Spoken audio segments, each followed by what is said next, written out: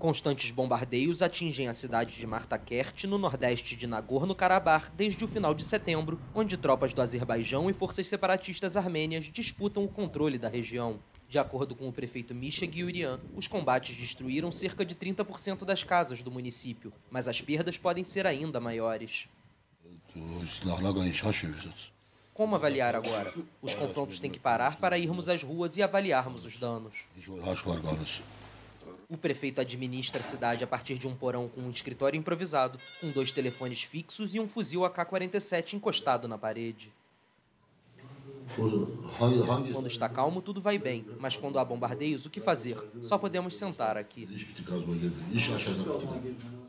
Aos 61 anos e com os olhos inchados de cansaço, Gyurian não consegue imaginar quando as bombas vão parar e a vida vai voltar ao normal na cidade.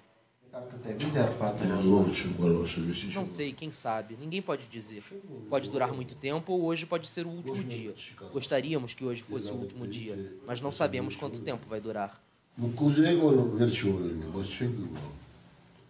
A cerca de 10 quilômetros da linha de frente, Martakert foi abandonada pelos quase 5 mil habitantes.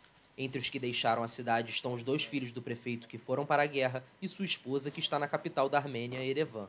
As tentativas de cessar fogo entre as partes foram frustradas após acusações mútuas de violações nos acordos alcançados.